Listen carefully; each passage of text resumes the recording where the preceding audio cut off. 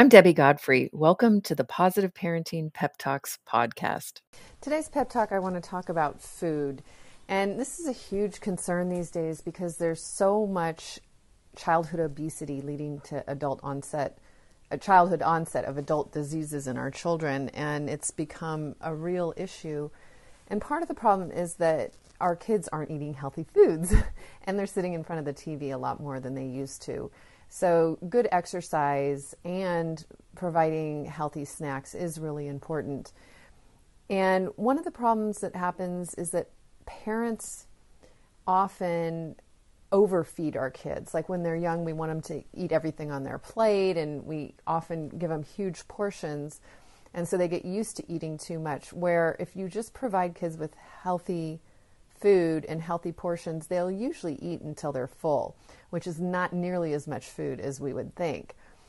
If you're concerned because your child doesn't eat well, the first thing you want to do is ask the child's doctor if your child's a healthy weight. If the doctor isn't concerned about your child's health, then there is no need to force feed your child. And what this causes is the ability for the child to power struggle with you over food in order to not have to eat whatever that you're serving.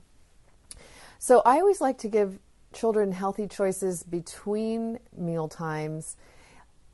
Perhaps uh, peeled carrots or apples cut up, have them in the fridge ready to go kids, if they have a choice between junk food and healthy foods, will often choose the healthy foods if they're prepared in a way that makes them fun, like if they're cut and they're peeled and that sort of thing.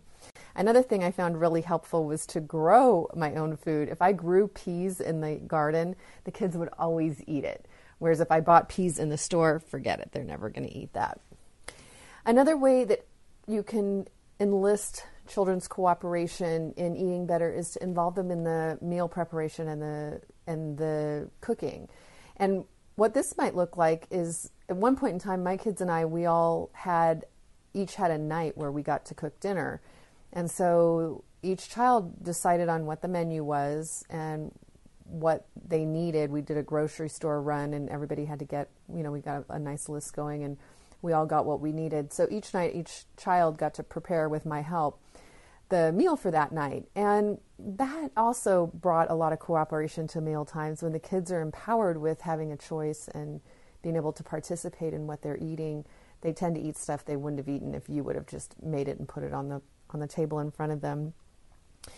I also had at one point in time a one bite rule. So a lot of times the kids will whine and complain about something that you're serving them and you know they've eaten this before and they liked it before but there's no sense arguing with them when you uh, when they're fi- fighting with you and saying i'm not going to eat that so i always had a one bite rule and that meant you have to have one bite you have to taste one bite and if you truly don't like it or don't want it tonight then that's fine and i had one or two backup foods for me it was uh, cheese and crackers or peanut butter and jelly and they could prepare that themselves as long as they did it themselves and then cleaned up after themselves. And it was probably like 50 50. Sometimes they would take a bite and say, Yeah, I don't want this, and they would make the alternative. And other times they would take a bite and say, Oh, I really do like this, and then they would go ahead and eat it. But it took a lot of the fighting and the power struggles out of the meal times.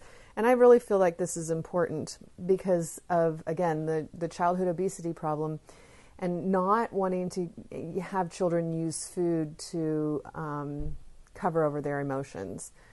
Anyway, I hope this helps. Have a great day and happy parenting. I hope you enjoyed today's episode of the Positive Parenting Pep Talks podcast. For those of you that don't know me, I'm Debbie Godfrey, owner and founder of positiveparenting.com. I hope you'll go and check out my website and follow me on Instagram and let me know about what you thought about today's episode. Did you learn something new? Were you able to do something different with your children? Did you have a success story? Those are my favorite to share. Let me know. Contact me. I'd love to hear from you. And also, what future topics would you be interested in hearing about on the Positive Parenting Pep Talks podcast? Thank you so much for being here and for all of your support. Take care and happy parenting.